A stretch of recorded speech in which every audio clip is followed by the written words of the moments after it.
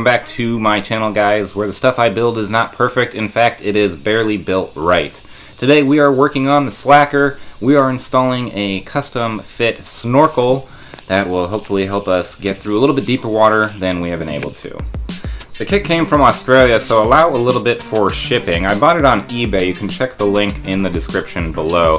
Comes with an inlet head, a molded tube, a piece of flex pipe, and a template for mounting as well as the necessary hardware for installation. Here are the tools I'm going to be using. I've got a hammer, a drill bit. I'm using this uh, Phillips head bit as a punch. I have a 3-inch hole saw, my corded DeWalt power drill, and some sockets and wrenches.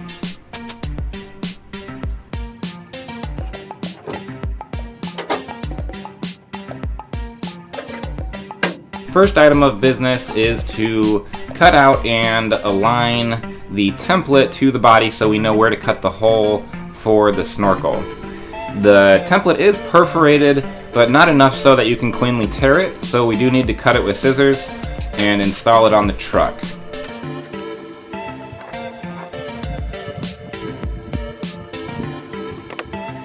You want to make sure that the edges are all lined up properly. That's why I have the hood open here, so I can line that up with the top of the fender correctly, as well as the trailing edge of the fender where it meets the door.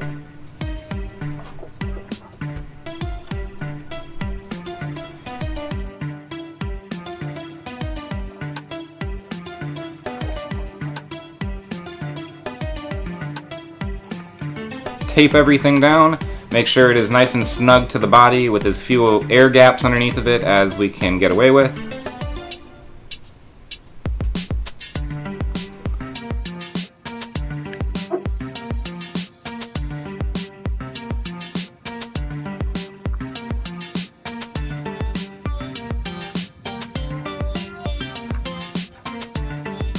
And next I'm going to test fit, or at least hold up the snorkel in place just to make sure it's lining up as it's supposed to.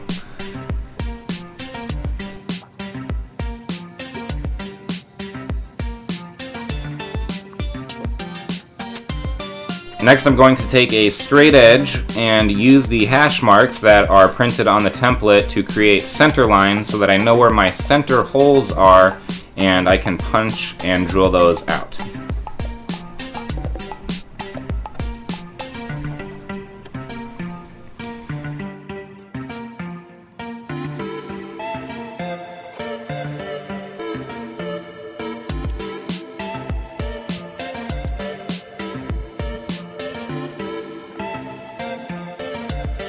Here I'm using that Phillips drill bit as a cheap punch. The idea here is to create a tiny little dent that when you put the conical head of the drill bit into, it will fall into the center of that little dent and therefore aligning your hole directly on your center hash marks where you want them.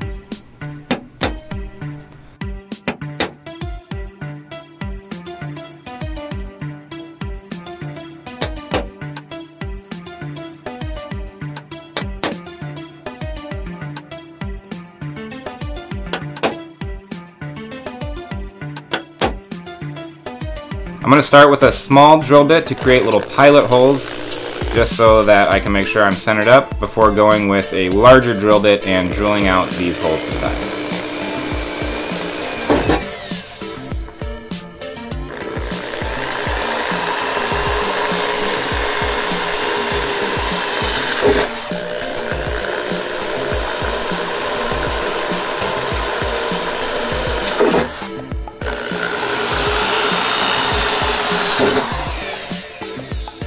Going to remove the template. I'm trying to take the tape off carefully just in case I need to reuse the template for anything.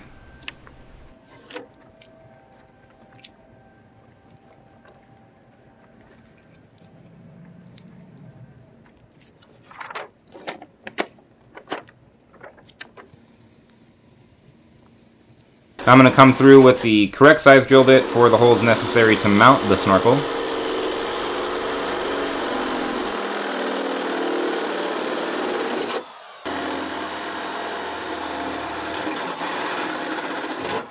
And coming in with my 3 inch hole saw, drilling out the pilot hole in the middle first, and then we're going to drill out the 3 inch hole.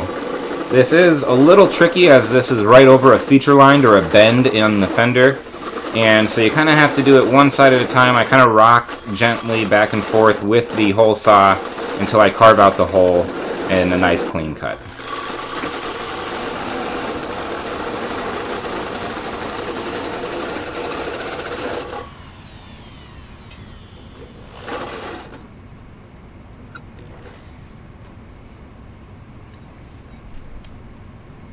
Behind here you can see the plastic airbox extension that is tucked away behind the fender. We need to remove this to make room for our flex pipe for our snorkel. This attaches up at the front to the factory airbox that passes through into the engine bay, and at the back with this nut and, or with this bolt rather, on the back of the fender edge.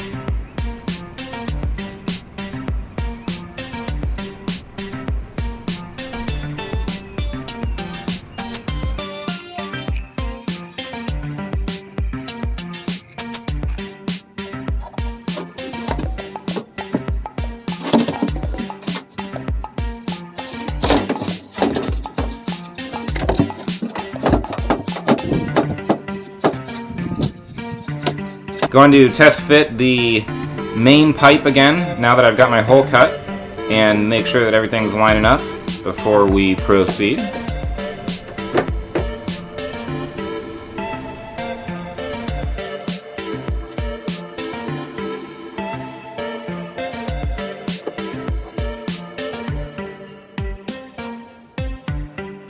And here you can see how this mounts up. So there are three uh, threaded studs that thread into these brass zerks on the inside edge of this molded pipe. And then those are going to go through the three holes that we drilled earlier. Now, mine was not absolutely dead perfect, so I actually ended up only being able to put two of these in, and then I had to finish putting the third one in from the backside once the snorkel was installed on the truck. Here you can see I'm using an Allen, and I'm going to reach up behind that snorkel, up behind the fender, and just using feel, try and thread this into that final uh, zerk on the top edge of the snorkel.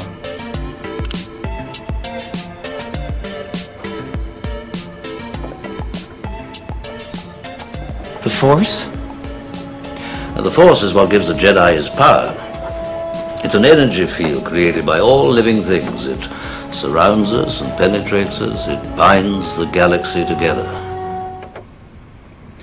Now that I have it in place, I need to mark the location of the upper mount. I've got it loosely attached in the slotted holes onto the snorkel, and I'm putting it flush against the windshield gasket. I'm going to mark its location uh, up and down on the A-frame pillar.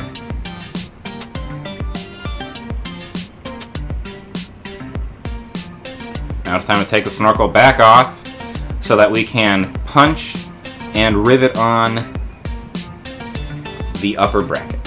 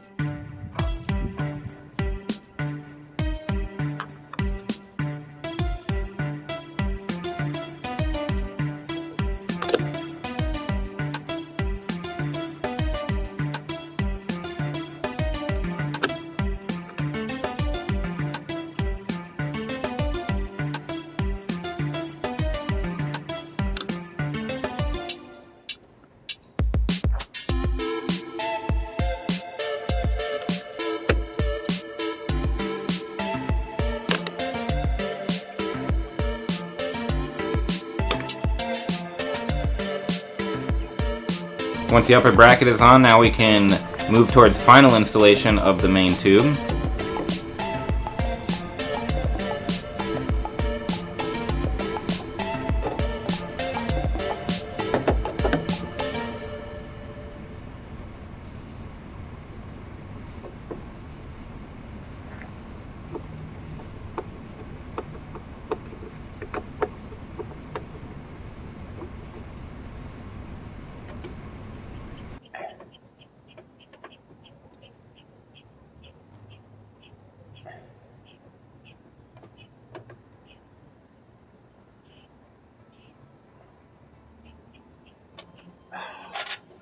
We'll install the top inlet piece. Of course, this does need a band clamp that comes with it.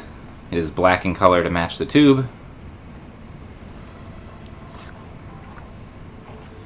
Piece of flex pipe makes a pretty nice S shape to go into the snorkel and then into the side of the piece that goes through the inside liner into the engine bay. And once that's on and sealed, the snorkel is pretty much installed.